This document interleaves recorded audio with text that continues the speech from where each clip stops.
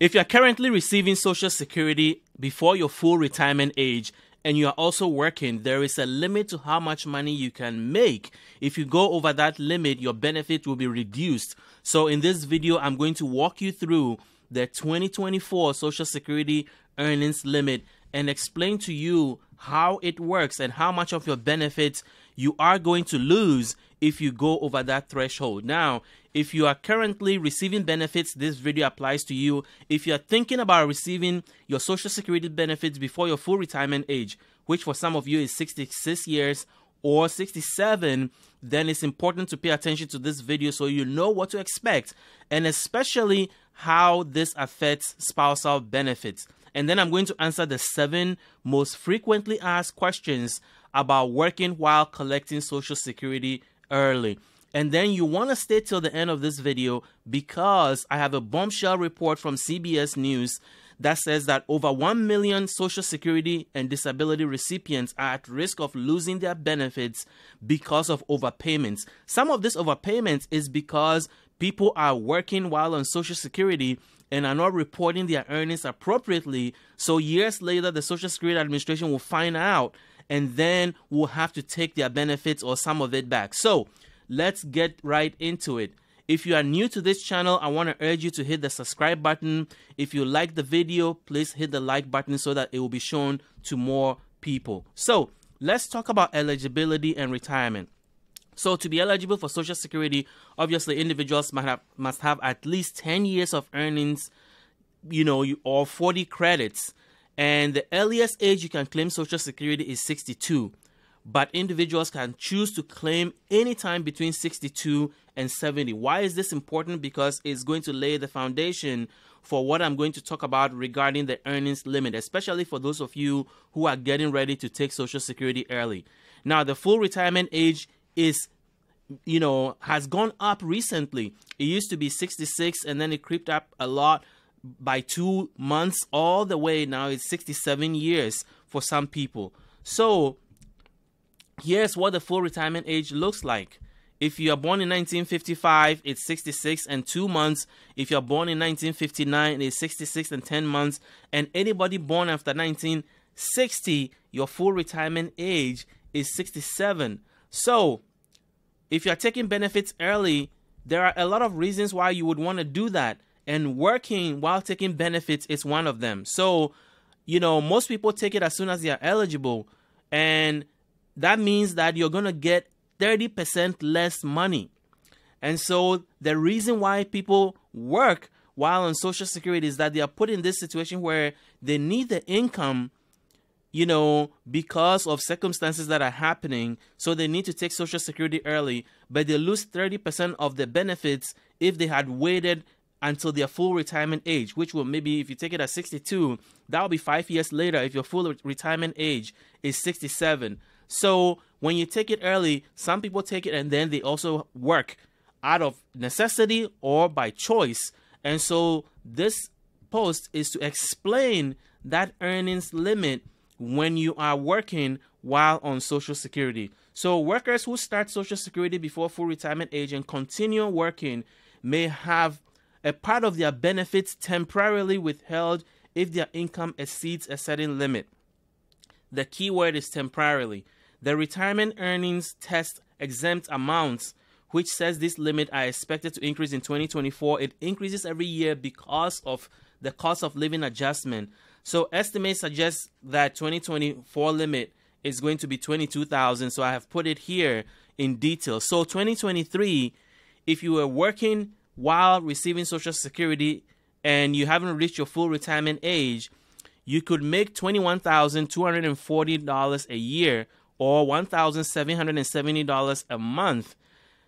You won't get, you won't lose any part of your benefit. If you go over that threshold, then for every dollar in benefits that you you know for every every two dollars in earnings above the eh, limit you're going to lose one dollar in earnings so 2024 which is where we are now you you can make $22,320 a year and still receive social security before your full retirement age and not be penalized or have a portion of your benefits taken back However, if you go over the $22,320 limit, then for every $2 that you go over the limit, you are going to lose a dollar of your benefit. So let's say that you go over the limit by $500, then you're going to lose $250 in Social Security benefits. That is just simple math of how it works. Now, when you are at your full retirement age year, so workers who start Social Security before full retirement age and continue to work, you know, obviously are going to lose part of your benefits. But when you reach the age of full retirement, then that year where you're hitting your full retirement year, the limit is more generous. So in 2023, you can make $56,520 a year that year and not lose anything, or $4,710. That limit has gone up to 59,520 a year. And the withheld amount is also more generous. So when you hit your full retirement year and you're working while on Social Security, you can make $4,960 a month without losing anything. And if you go above that, limit, for every $3 you go above that limit on your full retirement year, you lose only $1. So you can see the limit is higher and it's more generous during that time. Now, reduction in benefits and delayed credits. Now, claiming Social Security before you're reaching your full retirement age results in a permanent reduction in your benefit amounts, which means that you're going to lose that 30% of benefits. The reduction percentage decreases gradually with each year of delay until reaching full retirement age. So between 62 and 66 or 67, depending on when your full retirement age is, each year that you wait to collect your benefit, you get 8% more. So for each year delayed beyond the full retirement age, individuals earn a delayed credits they are guaranteed 8% more. Delayed benefits credits, however, do not provide any additional benefits beyond age 70. So you can claim Social Security between 60 and 70. But after 70, your benefits do not go up. Now, what does Social Security consider income? Well, the sources of income, the earnings limit that we talked about, applies only specific to some sources of income, including W 2 income and net earnings from self employment. So, when you think of the income limit, it's when you're actually working or have a business and you're getting money from your self employment. Other sources, such as dividends, interest from savings, pensions, distribution, IRA and 401k distributions, capital gains, annuity payments, do not count towards your earnings limit. So, if you're getting all these other sources of income, they do not count towards your Social Security earnings limit. Now, there is an impact to spousal benefits. If an individual claims benefits early and surpasses the earnings limit, it will also impact spousal benefits if applicable.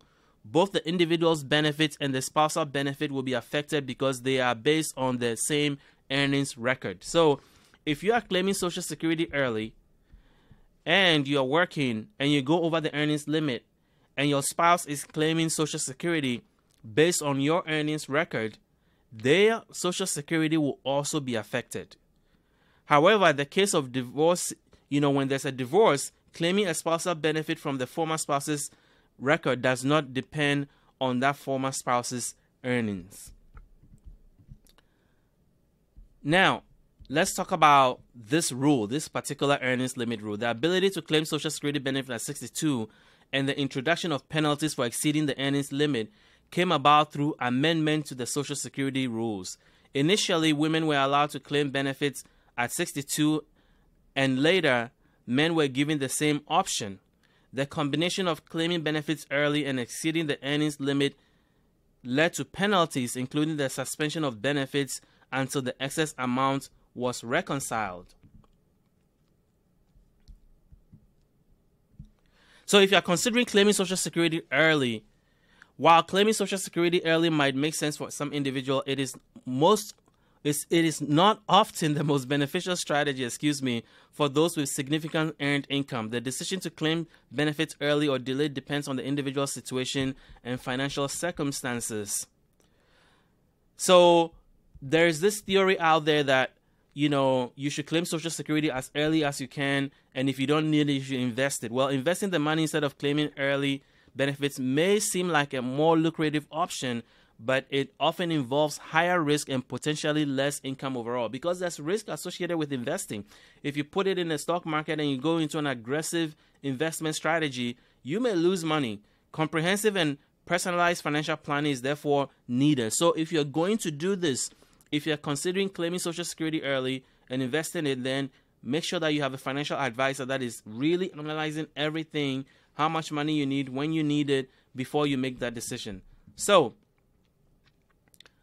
how do you optimize your retirement income? Well, optimize your retirement income involves considering the various factors like the time value and of money and opportunity cost. So basically, the whole point is that there are so many things you can do if you're thinking about claiming Social Security early and you feel like you want to benefit from Social Security as long as possible while you live, then make sure that you have a financial strategy in place because that is what is going to determine whether it's a wise decision for you. Because if you're also going to be working, you have to look at everything that is coming in and make sure that from a social security benefits perspective, your tax benefit perspective, that you are making the informed decision about that. So, next, let me answer questions about working while collecting Social Security. These are the seven most frequently asked questions we get about working while claiming Social Security. So, the first one is Does the Social Security Administration look at a single or joint income when determining how much money they're going to take from your benefits before you're working? Because you're working. Well, the earnings test is an individual test if you and your spouse each receive Social Security benefits based on your work history, your spouse's excess earnings cannot turn off your benefit. Your benefits are insulated from each other. However, if anyone is collecting benefit from your work and you have excess earnings, their benefits will be affected. So this is very, very important. If you got, you know, if, if, if you're married you're collecting Social Security based on your own earnings history, your spouse is collecting Social Security based on their own history, then your excess limit is going to affect theirs. It all affects you. However, if you are collecting Social Security and they are collecting Social Security also based on your record and you have excess earnings, then their benefits will be affected. So if your benefit has to be reduced, then theirs will also be reduced. Number two, question number two what happens to the withheld benefits? So remember, I said that if you go over the limit, Social Security is going to reduce how much money you get. For every $2 you go over the limit, you're going to lose $1 if you are not at full retirement age. And then at full retirement age, for every three dollars you go over the limit, you're going to lose one dollar. What happens to the money that they take away? Well, if your benefits are withheld due to earnings limit, they are not gone forever. All your full at your full retirement age, the Social Security Administration will run a calculation called the adjustment to the reduction factor. This calculation ensures that your ongoing permanent benefit can only be reduced for the months in which you received a Social Security check. The months where you didn't receive a benefit due to being over the limit will not count against your reduction due to early filings. Your benefits will be recomputed at full retirement age and the reduction factor will be adjusted accordingly. So the money is not gone permanently. They're going to do a calculation when you get to full retirement age and adjust your benefits and give you credit back for what you have earned. How is the earning test applied? How is the earnings limit applied? If you exceed the limit, the Social Security Administration will typically withhold several months of benefit at a time. For example, if your monthly benefit is $2,000 and you go over the limit by 10,000, they would withhold your benefit from January to March. In April, your checks will resume. So this is a big deal. This has real consequences. So if you're working while over, so that's why um, the, the overpayment story I'm about to cover is so critical for you to wait for because this is what has been happening to some people because they're earning over the limit, they don't know the limit, and it's been going on for a while. The Social Security Administration then finally catches up because the IRS is reporting everything to the Social Security Administration, and then boom, your benefits get cut off. and sometimes for over a long period of time, and you don't even know how long it's going to be, or you weren't even aware that this was going to happen because you were also dependent on your Social Security benefits. Question number four Should you inform Social Security Administration if you will be over the limit? If you're going to go over the limit, should you tell them? Well, the answer is yes. It is recommended to inform the administration if you know you will be over the limit. You should you should file a work report with the new earnings estimate. While this may result in your benefits being withheld, it is important to avoid getting into an overpayment situation which can be difficult to resolve. So I'm going to cover the overpayment story, and you're going to see why this is the case. It is a pretty, pretty serious deal. Number five, question number five. When does the limit switch from an annual to a monthly limit? The Social Security Administration recognizes that some people may retire mid year after receiving an earnings over the annual limit. In this case, there is a monthly income limit. The monthly earnings test apply when an entitled beneficiary has one or more non-service months in a calendar year. After the first calendar year of receiving benefits, it reverts back to an annual test. To calculate the monthly income limit, divide the applicable annual limit by 12, which I already did in my um, original picture that I showed that explains the earnings limit. Question number six Will the earnings limit affect spousal or children's benefit? If your benefits are stopped due to the exceeding the earnings limit, it will affect your benefits and any benefits paid from your record. However, there is an exception for ex spouses collecting spousal benefit. Their benefits will not be affected if you go over the limit. So it will affect your current spouse who is collecting benefits based on your record, but it will not affect an ex spouse who is collecting spousal benefits based on your record. Finally, question number seven What counts as earnings? Well, gross wages from employment income and net earnings from self employment income count against the earnings limit. However, income from pension payments, annuity payments, IRAs, and other retirement account distribution, as well as dividends, interest income, and capital gains do not count towards the earnings limit, it is important to know that there are additional rules for self employed individuals regarding the time spent in the business.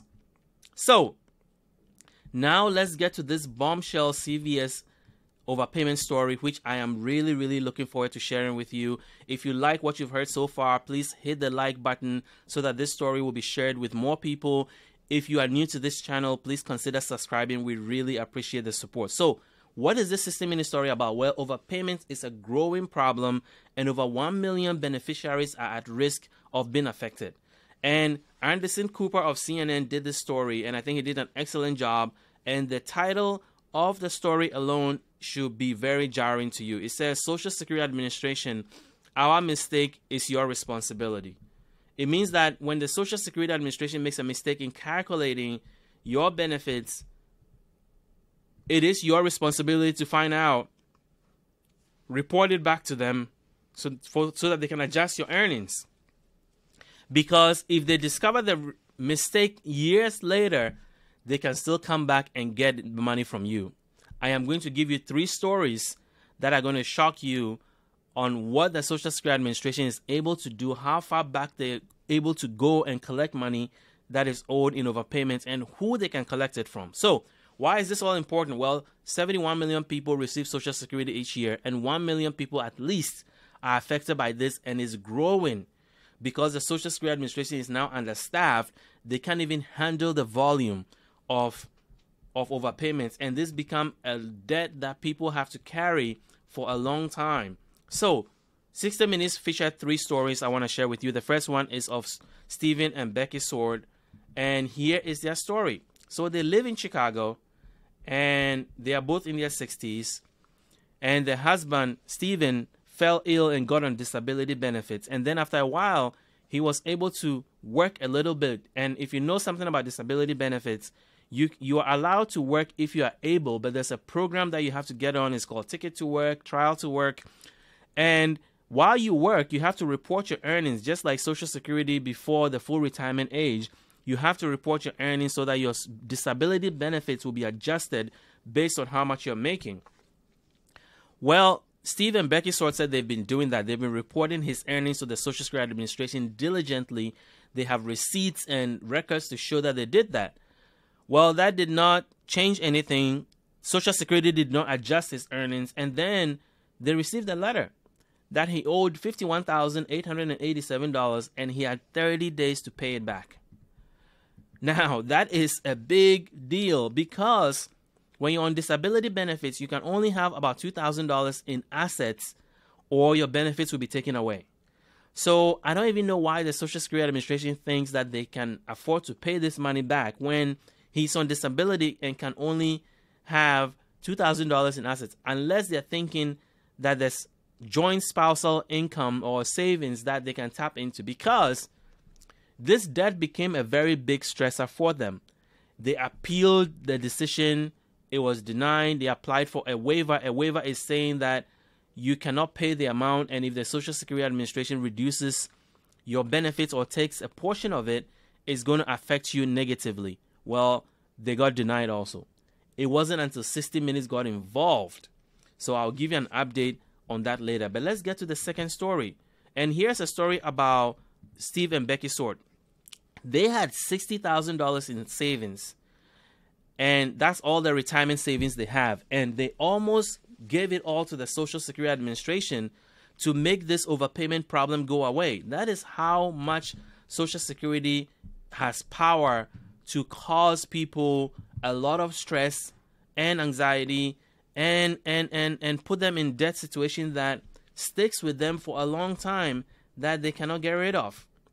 So the second story is of Jean and Glenn. This is one of the things that the title of this episode clarifies. So Jean, the wife, uh, got on Social Security benefits like everybody.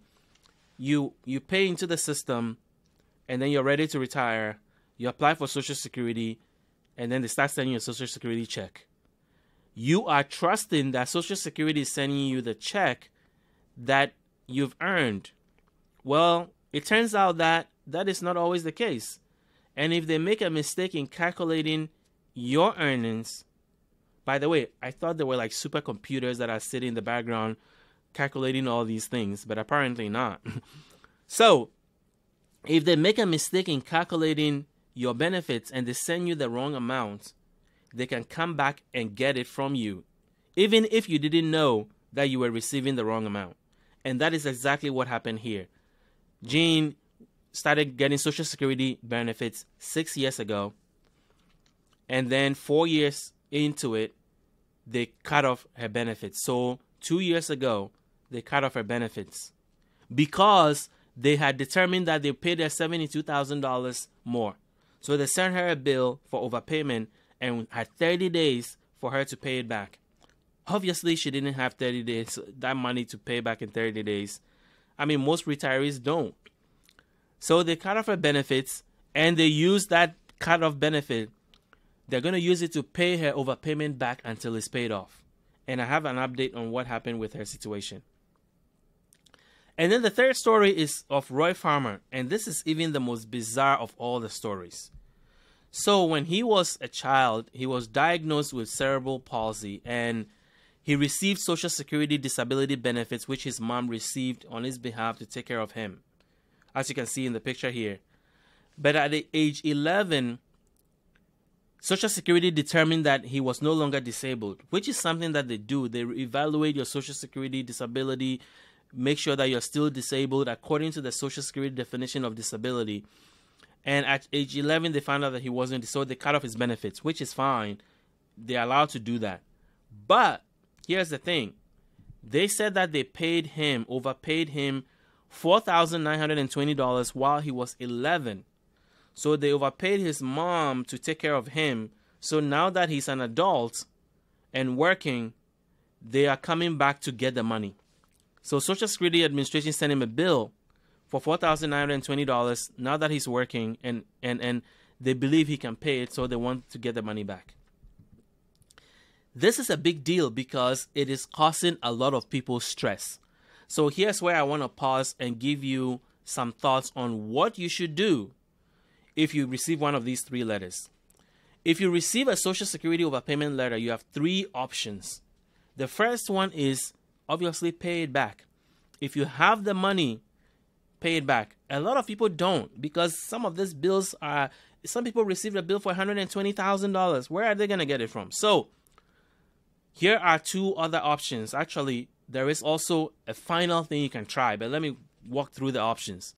So, if you get a letter, it's going to give you 60 days where you can appeal it's it's it's advisable to file an appeal because sometimes the Social Security Administration even makes mistakes in sending you the overpayment and how much you owe. So you need to do your own investigation. Call the Social Security Administration, find out what happened, why they think you you've you've been overpaid, when do they think you were overpaid, and for how long.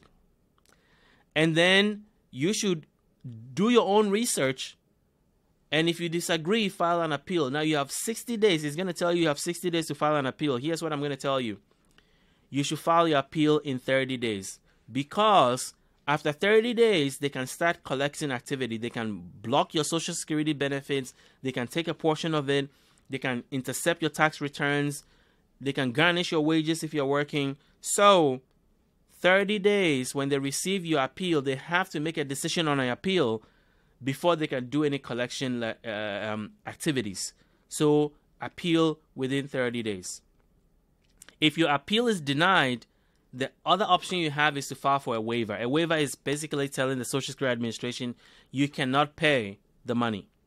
And that if they take a portion or all of your Social Security benefits, it's going to cause you severe stress. And they're going to ask you to provide a financial statement to provide your income your expenses so that they, they can make the decision of whether they think you can pay it or not. So that's an option. And then if that is denied then you can request a hearing before a social security administrative judge. And this is a legal proceeding so you might want to get an attorney who can put a case together and fight for you so why is this happening? Well, it's because the Social Security Administration lacks accountability on this. I mean, these things can go on for years, and then people don't know that they owe money, and then all of a sudden they get hit with this big bill that they have to pay. And appeals and waivers are rarely granted. So most people get stuck with this bill. And to make it worse, part of the reason is that Congress is responsible for the reason that the Social Security Administration is overwhelmed and not able to deal with these issues sooner. So they happen for years. People are overpaid for years. And then finally, the Social Security Administration catches up to it and then sends them this big bill. Part of it is that Congress has been cutting the Social Security Administration budget. And so now, even though more people are receiving Social Security than ever, staffing at Social Security Administration is at its lowest in 25 years less people are working at Social Security than in 25 years, and more people are collecting benefits than ever. That is part of the reason why this is happening. So, experts have recommended two things that Congress can do to fix this. Number one is to put a statute of limitation on the Social Security Administration on how far they can go back to collect overpayments. Because, I mean, it's ridiculous that, you know, you're sitting there, you're collecting Social Security for a long time, and then boom, you get hit with a bill or sometimes they tell you that this happened while you were a child and now you are an adult, they want the money back. So there needs to be a statute of limitation. That's what experts are recommending. And also, there need to be generous repayment options where people are not burdened. People who are on fixed income already, collecting social security or disability benefits, and now have to pay a portion of their benefits towards an overpayment that can happen for years. So, one of the things the experts are recommending is that Congress reforms how overpayments are done so that it's more generous and doesn't severely impact the people. But as you can see, the Social Security Administration has been busy collecting overpayments. Over the last six years, they are collecting billions. Last year, they collected, you know, 2022, two, 3.5, you know, 3.35 billion. In 2021, 3 billion. In 2020, 2.86. So you can see they are collecting more and more and they're getting more aggressive as the year goes along. And 2024 is going to be no different. So, the CBS story that I talked about, there was a happy ending to that. And that shows you the power of powerful voices advocating for you. Because 60 Minutes made a lot of noise and were calling the Social Security Administration as part of running this story and inquiring about these individual cases, even though all three cases applied for an appeal and it was denied, they applied for a waiver and it was denied. Now that 60 Minutes got involved, all of a sudden the Social Security Administration does a 180 and forgives the debt of all three. So here's what I'm going to say. If you get one of these letters and you feel frustrated that you cannot get responses from the Social Security Administration fast enough, contact your representative in Congress, your senator, your congressperson, and let them know this is going on so that they can also write the Social Security Administration on your behalf and help you fight this. Contact your local TV station. Let them write a report because you never know what will get the Social Security Administration's attention so that you can get a fair shake on this thing that could stick with you for a long time and cause you a lot of stress and anxiety. So, one thing you cannot do though is ignore it because if you get an overpayment letter and you ignore it, they are going to take your money. They are going to intercept your tax returns. They are going to garnish your wages. If they can, they're going to take your social security benefits to pay it off. So do not ignore it. It will not go away on its own. You have to deal with it. You have to confront it. But as I said, maybe get some powerful people on your side so that the Social Security Administration can really take a look at your case. So that is all I have for today. Please hit the like button if you like what you heard. Subscribe if you are new to this channel. And until I see you in the next video, thank you for watching.